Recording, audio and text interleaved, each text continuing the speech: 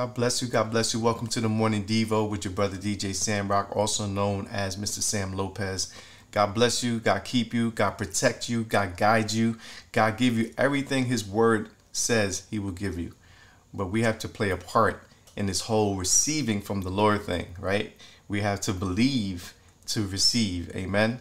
If you don't believe in God, somebody asked um, last week, um, what is the is there any sin or any sins plural that God will not forgive? And I said, no, God will forgive every sin. There's nothing I did, nothing you did that could not be forgiven, except from blaspheming the Holy Spirit, which is sometimes I don't even think people know they're doing it. Um, but God says that's the unpardonable sin. But from what I'm seeing in the scriptures, God has a way of dealing with that as well. Amen. Because He's a just God, a merciful God, a graceful God. But what I think is the unforgivable sin is the sin of not believing. Because if you don't believe in Jesus as Lord and Savior, the scripture says in, in John chapter 3, um, around 17, 18, um, around there, read it for yourself. Right after um, the gospel message, where um, whosoever believes in the Lord shall not perish, but have eternal life, it goes on to say why people don't believe in God and how our how our hearts are already condemned for not believing. So if you don't believe in the one who could forgive you, if you don't believe in the one who could forgive your sins, then there will be no forgiveness of your sins because you don't believe. So I believe that is right there is the unforgivable sin, sin of unbelief. Amen. And that is powerful because God is always opening up his mouth through people, through his word, through nature, supernaturally, naturally. He's always opening up his mouth and giving us his word and giving us his invitation. So today I'm talking about you are invited. We are invited by God, amen, to his kingdom. You are invited. That's today on the morning Devo with your brother DJ Samrock. And we're going to pick it out of um, Hebrews chapter 4. Hebrews chapter 4, verses 15 and 16, around that area. So we're going to discuss what this verse would mean or could mean to you and how it could transform, transform, I was going to say transform, I was going to say confirm and transform. So I said transform. Is that a word? A combination of those two? I'm going to pen that. Transform. I like that. He could transform your life. He would confirm his word in your life. Amen. And he would do amazing things that even, you know, we as believers sometimes don't believe what he's doing in our lives. Amen. Do you believe it? Do you receive it? This morning on the morning Devo, you are invited. You might be like, me? Yes, you are invited. God is no respecter of persons. Amen. As a matter of fact, if he could change me and he could give me that invitation, amen, I have no reason to believe that he can't invite anyone he wants to invite to his table. Amen. Because he's a God of mercy, he's a God of grace, a God who loves. God is love. Amen. He's just and he's holy. Amen. All powerful, yet he has a gentle spirit. He's all knowing. He knows every thought that we have, and He loves us beyond that. Amen. He's omnipresent everywhere here. Amen. God is amazing. God is amazing. And if you don't know who God is, amen, get to know who Jesus is, and you will find God because Jesus is God. Amen. And that's an amazing revelation. It has to be revealed. This thing can't be just, you know, taught to you and then you believe, or you can't be just convinced by another man that God exists. God Himself will reveal Himself to you, show up in your situation, show up in my situation, and then it's undeniable about His power. It's undeniable what He can do in a life simply by saying, Okay, God, I'm here. You said I'm invited, I'm here. Let's get this party started, right? So I'm gonna give you 60 seconds to share this out, and when we come back, we're gonna be in Hebrews chapter 4, verses 15 and 16 around that area. Amen. Because you are invited. Share this out. Here's 60 seconds to do it. I'll be right back.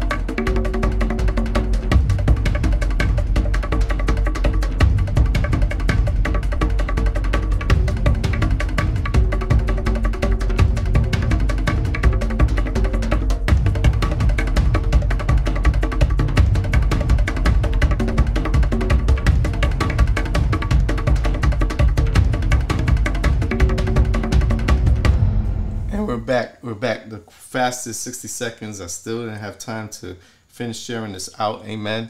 Um, wow. 60 seconds goes by really, really fast. And wait, I guess I did get them all. Hopefully, you got the invite on my Facebook group, through my pages, through the other groups that I share all over. I'm about to get banned from some of the groups because they, they say I'm promoting myself on their website. Okay, it could be. It's all a matter of opinion. Uh, amen. But this is a gospel message, a morning devotional. Amen. I'm just sharing what God gave me this morning to everybody online. Amen. So if that's self promotion, I don't know. Uh, I'm guilty then. And I'm always talking about Soul Winners, the website. Amen. As a way of, it's an evangelistic tool for music um, clean, family friendly music. Amen. Soul Winners with a Z.org. You see it on the screen. Uh, thank you for all the listeners that have been popping up lately all over the globe. Amen. On Soul Winners with a Z.org. Amen. It's amazing to see numbers when you're like, okay, um, wow, it's a lot. Amen. And God will send and invite the people He wants to the website, right? He'll invite them and then He'll use the website as a tool to reach out to everyone He wants to reach. Amen. The word over this ministry um, years ago, I think it was like 2006, 2007, he said he's going to reach 1 million people with a life changing download. Amen. This is exactly what I heard from the Lord. I didn't even know what a, it was an LCD, life changing download. Download, and I was like, life changing download. What in the world is that? And then he said, you're going to create a podcast, and you're going. I said, podcast. Time out. I'm a, because I'm a, I'm a I was a Windows guy for many years. Now I'm on Mac, but I was a Windows guy. I didn't know what a podcast was. I had to look up the word podcast. That's how I knew it was from the Lord. And then I realized what a podcast was, and I started streaming a live Bible study, a Bible study. It was an hour long too when I first started it, and I was like, "This is no way gonna work." But I'm trusting God, and He said to do it, so I'm gonna do it. so I put it on. It was a telephone back in the day 2007, 2008, you have to dial in, put all these codes in, get on the telephone. It was like a conference call, amen. And it was on a phone, and I was like, wow, that's that's a lot. So then I said, this ain't gonna work. And then I started noticing later on that there was um, thousands of people listening, and I was showing my wife. I so. I said, look, babe, uh, within two or three months, I already had thousands of listeners. I had a thousand turned to five thousand, then five thousand turned to ten thousand, and then I had to get off that network because it was so like it was on the phone. Like the quality was horrible, yet people were calling in. They were, um, you know, chatting, live chat on this network, and it's all moving by the invitation of God. God will invite you.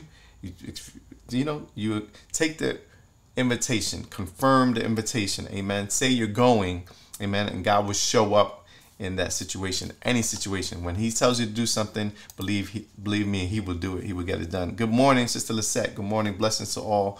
She says, whoever comes on here, amen. Whether you're on with me live or you come on later, amen. Or share this out to your friends so that way they could get a grab and get a hold of what God is doing through the morning devos. Hebrews chapter 4, verses 15 and 16.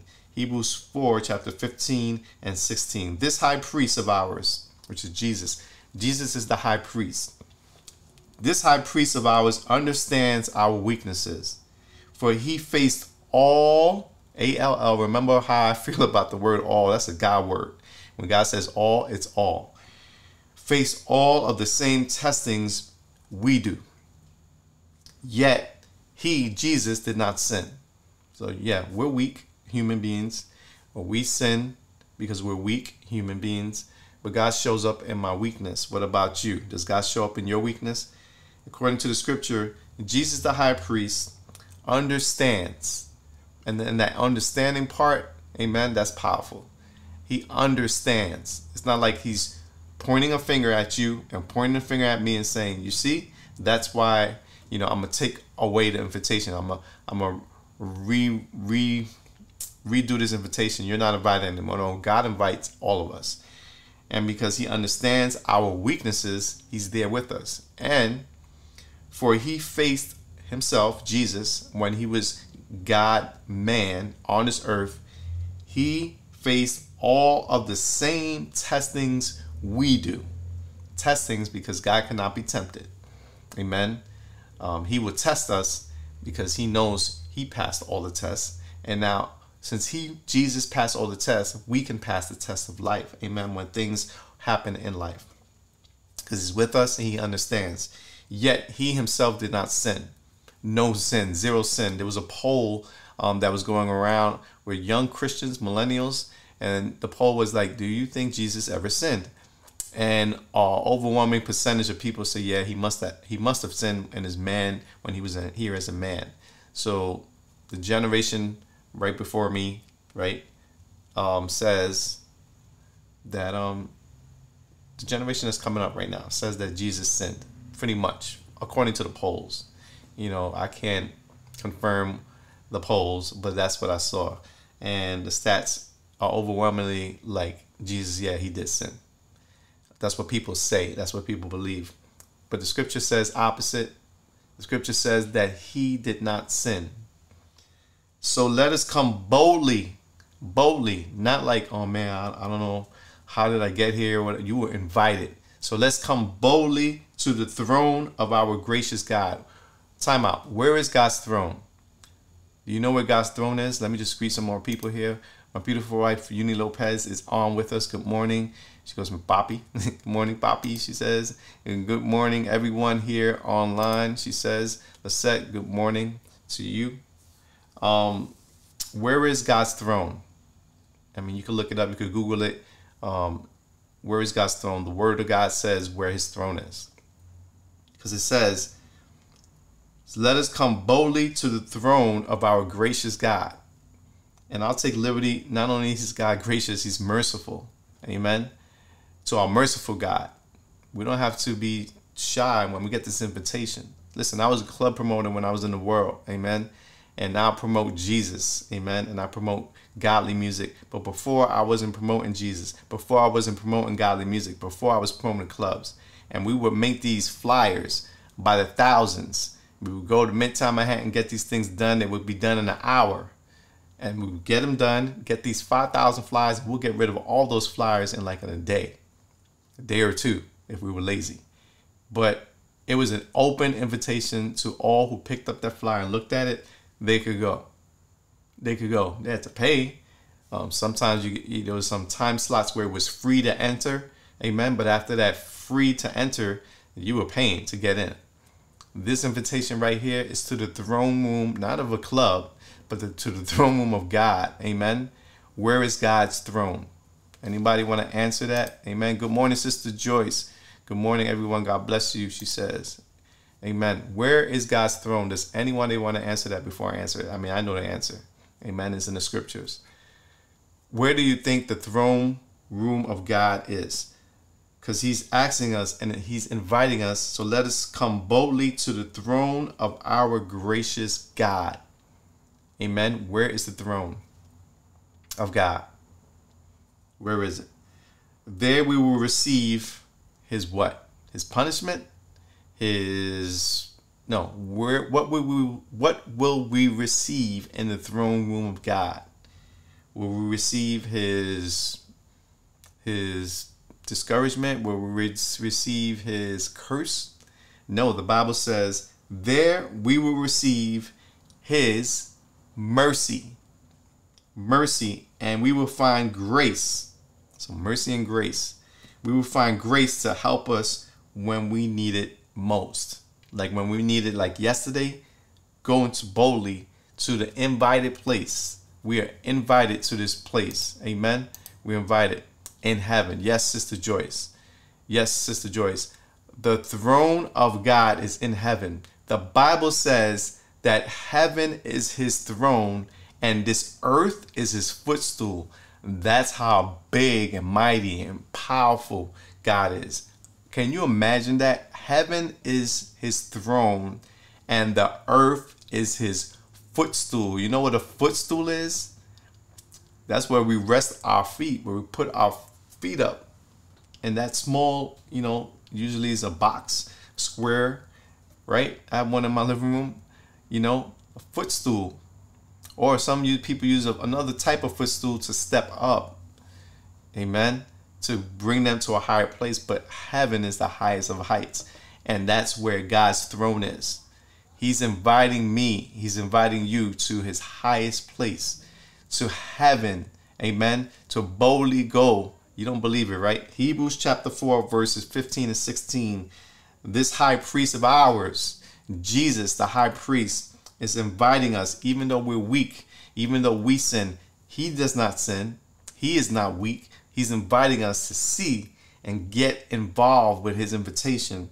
So let us come boldly. You don't have to come like, oh, I'm an unexpected guest. No, you are invited. I am invited to his to his throne of our gracious God. We are invited to the throne of our gracious God. There we receive everything. I know the Bible says we receive His mercy, but His mercy to me is everything. His grace to me is everything. So I'm saying there we will receive everything we need to live this life out. Amen. And it's a glimpse of what we're going to, how we're going to be living in with Him for all eternity. So if if you don't see that I'm excited about that, then you must not be seeing what's going on here. Amen. I, Sam, and you the viewer, the listener, the person that's just flying by this video, and then you stop because God stopped you. Amen. He wants to invite you to his throne of grace where you will find and receive, amen, his mercy. And we will find grace to help us when we need it most. Amen. We will find grace when we need it most. So, according to this verse, Here's another question. According to this verse, why does God have compassion on us? You ever wondered that? Listen, mercy, I look at mercy like this compassion is the outworking of God's mercy. Amen. Remember when when Lazarus, his friend, died, and the sisters sent word to Jesus, and when it got to Jesus, Jesus wept because he had compassion on the family. He he felt the hurt. He felt the hurt in their hearts and their families. They lost their brother, and he had compassion, mercy, and compassion. Compassion is coming from mercy, right? Compassion is the result of mercy. When you have compassion for somebody, when you have compassion for the hurting, when you have compassion for the sick, when you have compassion for the poor, when you have compassion for the homeless, is because you're humble enough to see that there's a need, there's an issue going on, and because of the mercy that you receive and I receive from God, amen, you have compassion for other people, and that's what causes us to want to help others, amen. Mercy, grace, mercy, compassion all goes together, amen. You're going to find that out in life quick. And during this COVID 19 whole situation, we found out as believers if we were compassionate people or not. And I truly see a lot of compassion all around the world for every believer that I can see that is doing something for others. Amen. Because that's what we're here to do. Amen. We have Holy Spirit God living here with us, in us, on this earth, and we're showing the world mercy and compassion. Amen. Because we received mercy. And not only did we receive it, we were invited. Amen. We were invited. There we will receive his mercy and we will find grace to help us when we need it most. So, according to this verse, why does God have compassion on us? Does anybody want to try to answer that? Amen. Because he loves us. Yes, babe. He loves us. He loves us. That's a great answer. Why? Just because he loves us. Why did Jesus die on the cross for me? Why did Jesus die on the cross for you? Because he loves you. He was moved um, by compassion um, on the cross when he said, Father, forgive them. Father, forgive Sam, for he does not know what he does. Amen. Because when Jesus was being crucified on the cross, he had me on his mind. He's the all knowing God. Amen. There's not a time in history that God has not been thinking about me and that God has not been thinking about you. He knows all people all over the world, knows our hearts, knows our thoughts. Amen. But he's, you know, he's he comes to the humble. He's attracted. He's going towards, amen, and he's keyed into the humble and he resists the proud, the proud people, the people who think they have it all together, they don't need God, or even if they have God, um, they think that they're superior over people because now they have more, or I don't know, anointing power, or I don't know what people think. Christian. I don't know what Christians think. What they think they have more Holy Spirit than somebody else who's saved. But there's people who walk around with this pride, and God resists the proud.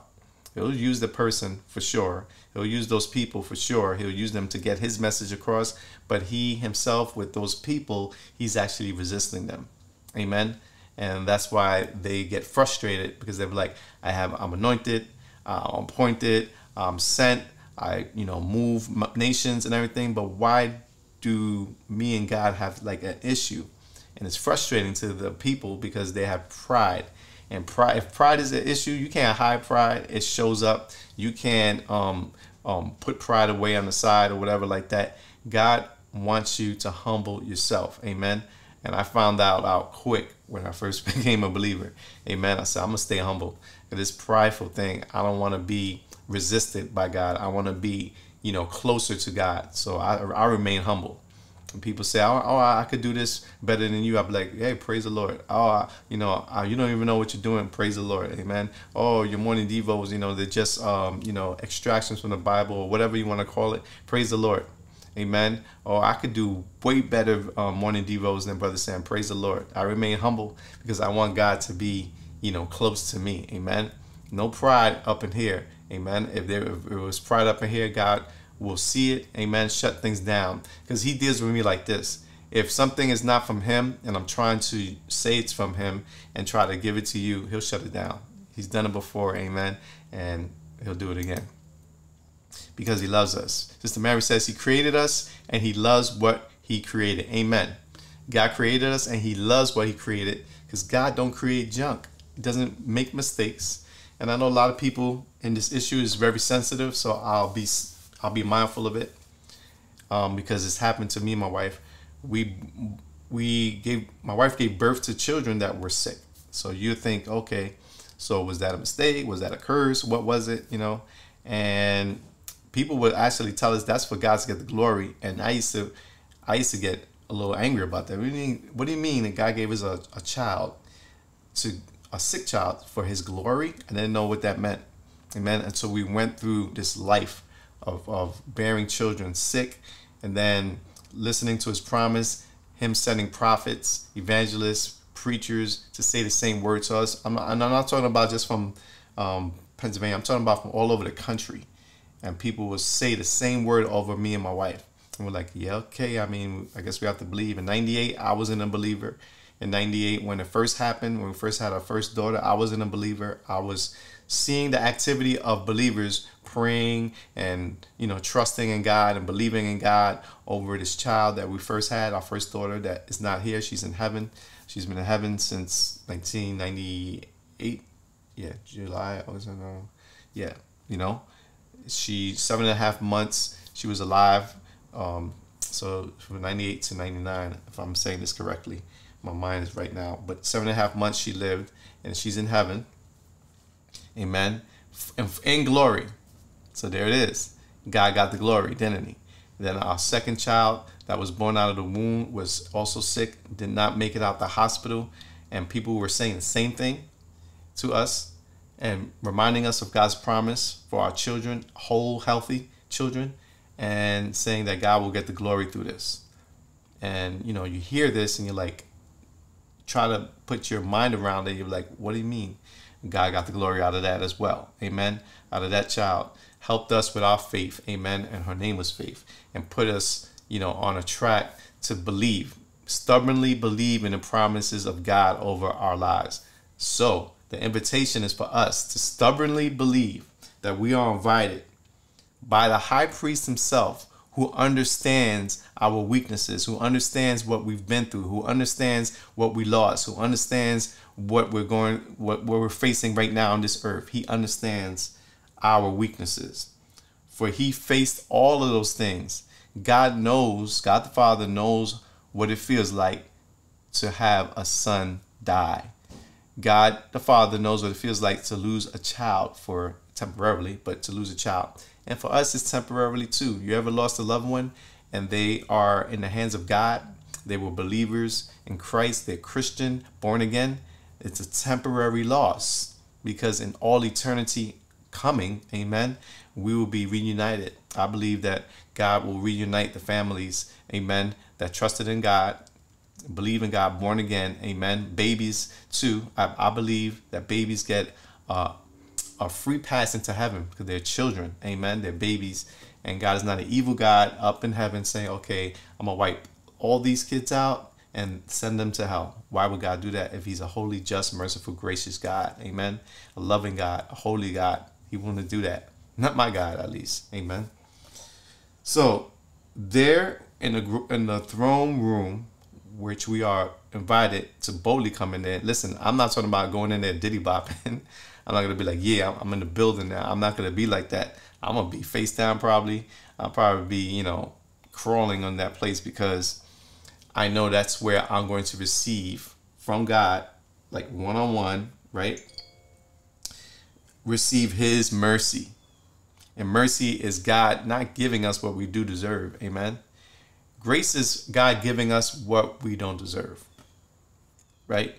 Grace is God giving us what we don't deserve. And mercy from God is us holding back what we do deserve. Amen. So I'm looking at it like this I said, wow, if it wasn't for God's grace over my life, if it wasn't for his mercy, where what would be the outcome of Sam Lopez? It would be curtains because of what I did in my past. Amen. And thank God that these white hairs show that I lived long enough to know what the past was. Amen. And you have a past, I have a past, and God has mercy and grace for our past. And you know, he he, he said, forget about that. Let's walk forward from this day forward. Amen. Because we are invited by God. So, what are your thoughts? What are your thoughts about coming boldly to the throne of God? Amen. What are your thoughts about that? You're invited. Amen. Are you going to accept the invitation or are you going to reject the invitation? We get invitations online all the time through Facebook and all this events and stuff like that. Sometimes if I can't go, I'll put maybe because maybe I can, but maybe I can't. Amen. So I'll put maybe. Um, maybe I'll put no if I, am not available. Amen. Um, but the person who sent the invite wants, you know, you to say yes. God is sending us an invite. And why are people saying no? Oh, you know, I don't deserve to be there. I'm afraid or whatever. Boldly go to the throne room of grace of God. Amen. Where you will receive his mercy. You're invited. Amen. Don't be afraid. You are invited to the throne of God.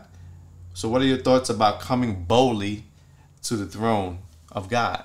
Amen. Me, I know it sounds weird or something, but um, when I go and I've been there, amen, people are like, yeah, okay, you've been to the throne. Yeah, I've been there through pain, suffering, hurt, loss, amen, doubt, unbelief. I had to go to the throne room to receive his mercy. Amen.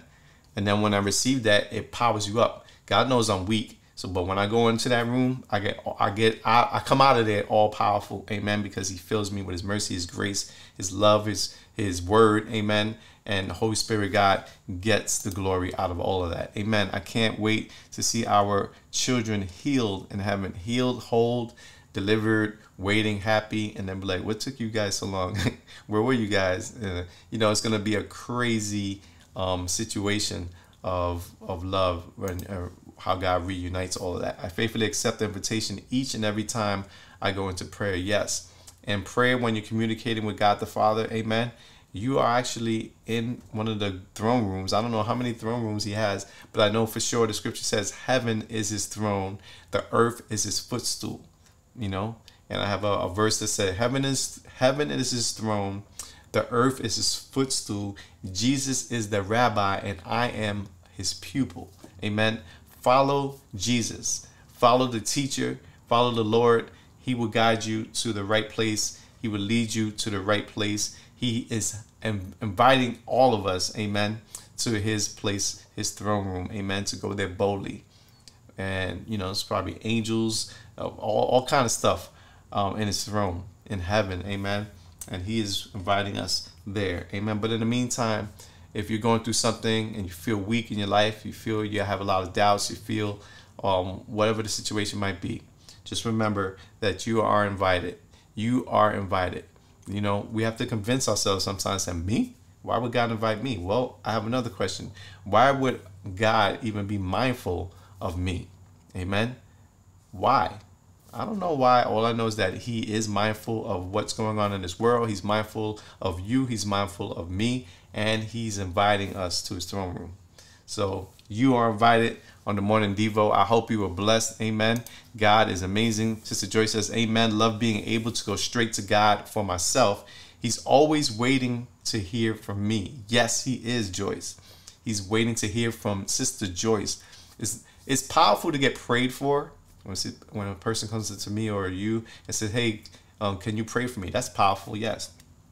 But what's more powerful than that is you yourself, who you are invited to speak to God, to pray to God firsthand. Amen. To go to Him because you were invited to go to Him. And the Bible says it's clear, He will not turn anybody away who goes to Him. He won't turn nobody away. Amen. It's an open invitation. Amen. And that's the greatest invitation that God has offered um, us here on this side of eternity. And when we're saved, amen, we already have um, the pass, amen, to get into heaven um, for the eternal life. But in the meantime, while we're here, when he sees what's going on in our lives, he sees our weakness, amen, he's also saying, okay, you could boldly come to the throne. Um, you know, come. And it's open 247, amen. Uh, I don't see it anywhere in the scriptures where um, his throne is closed. Amen. I don't see it. I could be wrong. I could be right. Amen. But I've never seen it. Thank you, Brother Sam, for God's word. Amen. You are so welcome. I'm out of here. God bless you. God keep you. Remember always, family, that God is good. Um, if you were blessed and you felt in your heart that you want to be moved to compassion for others, amen, you can help this ministry, help other ministries by going to the website on the bottom right of the screen um, djsamrock.com forward slash donate and see is a little a little paragraph of what we do and why we do it amen and so on is ink and also if you wanted to share something but you didn't want to do it live maybe you had a question comment prayer request um, you know whatever that you wanted to share but you didn't want to share it because you know you want it to be private amen let me just show you my email address so that way you can email me you know, 247. Amen. I'll get back to you when I see the email. Get back to you as soon as I can. Amen. You could communicate like that. Also, if you want to um, donate in a way through PayPal, you could do that right there at that information on the screen as well. Um, and also, that's very secure. Amen. PayPal is a well known um, company payment portal. And also right there is my cash app. You could give your best seed. Listen, the best seed that you have, amen, is the least amount of money that you feel you could give. And also the most amount of money that you feel you shouldn't give. That's your best seed because it's between you and the Lord. Amen. Let God use you um, in that place. Amen. There's no like, oh, you know, I've, I've literally heard people um, that preach and that teach and that are evangelists or whatever the case. They say no less than you know, they don't they don't want to receive uh, donation or support no less than twenty dollars and all that nonsense. Listen, that's nonsense. Let God speak to you. It could be twenty five cents or it could be twenty five thousand dollars. Listen, let God speak to you because He'll take the seed that you give and that you sow into His kingdom, Amen, for His purposes, for His plan, Amen. He can take the seed that you sow and you you'll have your own harvest after you um, send that seed. So um, I'm not, I don't play those games. I, I literally laugh when I see um, people do that. And I laugh in a cautious way because it's not really, have a great weekend as well, Lisette. Amen to you as well. It's not really like funny, haha, when people do that. They do that to manipulate people, to put guilt over people. Oh, you know, if you send less than $20, you know, uh, you know, that's not, you know, honoring God. Listen, I don't play those games. And I pray for those people, those evangelists that try to manipulate people to get money, man. It's not right. It's not a good look for the kingdom of God. Amen. It's not the invitation that Jesus invited us for. Amen. Um, not to, you know, there's prophets out there that speak word and discern the times and all that, and God uses them as mouthpieces. Amen.